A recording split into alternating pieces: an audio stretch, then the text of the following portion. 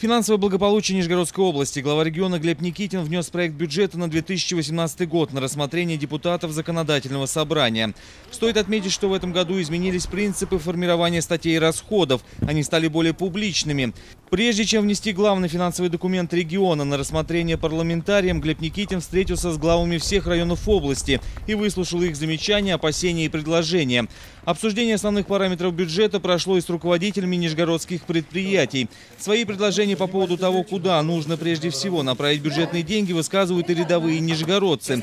Причем мнения жителей как столицы Приволжья, так и районов области во многом сходятся. Озвучены разные сферы, но в основном акцент делают на социалку.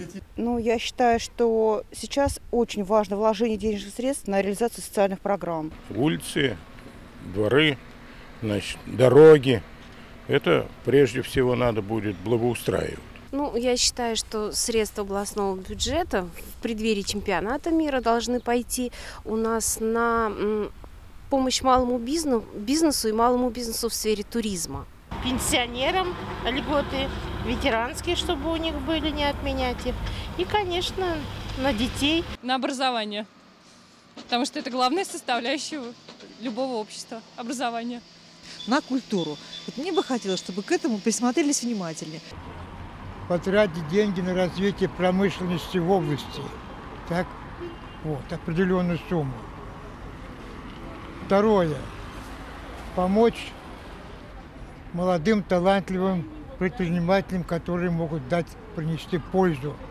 На социальные программы, считаю, ну, увеличение зарплат бюджетникам, э, поддержка молодых семей многодетных и нашим пенсионерам. Безусловно, в условиях дефицита времени не все изменения удалось отразить в документе, поэтому основная дискуссия о новых статьях бюджета развернется между первым и вторым чтениями. В то же время важно, что губернатор с самого начала демонстрирует открытую позицию управления регионом. Проголосовать за то направление, на которое необходимо потратить основную часть областного бюджета, может и любой пользователь сети интернет. Интерактивный опрос проводится на сайте «Время Н». Итоги подведем в ближайшие дни. Отметим, что ранее большинство интернет-пользователей высказывались на сайте за введение в Нижнем Новгороде одноглавой системы управления.